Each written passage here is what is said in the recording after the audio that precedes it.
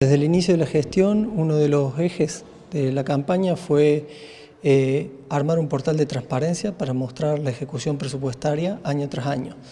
Eh, este ha sido el primer año que hemos estado en gestión, recién en el día 5 cumplimos un año y cumpliendo ese objetivo que nos propusimos, hicimos la primera rendición eh, presupuestaria de lo que fue eh, el presupuesto de la universidad en el 2023 en lo que refiere a eh, contribución gobierno, que son los fondos que envía el gobierno nacional para las universidades. Importante conocerlo obviamente para saber en qué situación estamos parados en el 2024 también.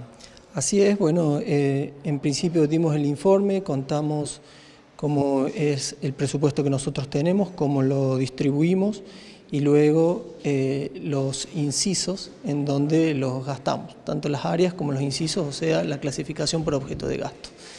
Eh, en función de eso, los consejeros eh, plantearon las preocupaciones de cómo veíamos la universidad para este año, para este primeros cuatro años, cuatro meses del año transcurrido.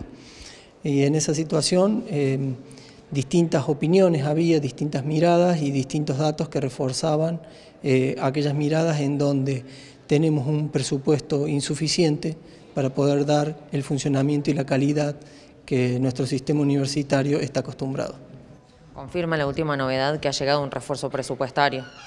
Ha llegado un refuerzo presupuestario correspondiente al mes de marzo y al mes de abril esto es la primera parte, el gobierno había, se había comprometido a hacer un 70% de incremento presupuestario con respecto al mes de enero de 2023 y eso ya ha sido enviado.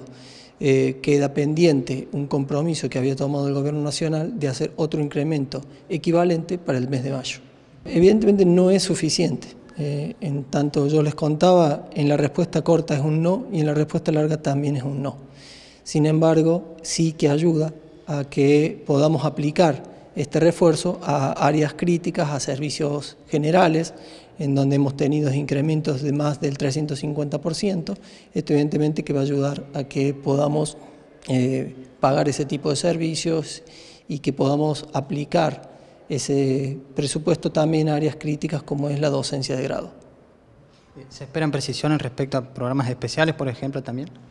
Bueno, eso es algo que eh, ha surgido a lo largo de toda la reunión y la intervención que he tenido, el, planteamiento sobre eh, los presupuestos de programas especiales. El Gobierno Nacional ha suspendido el envío de programas especiales, con lo cual está en una indefinición hasta el momento, hasta que terminen alguna evaluación acerca de si van a seguir o no eh, con el envío de programas especiales.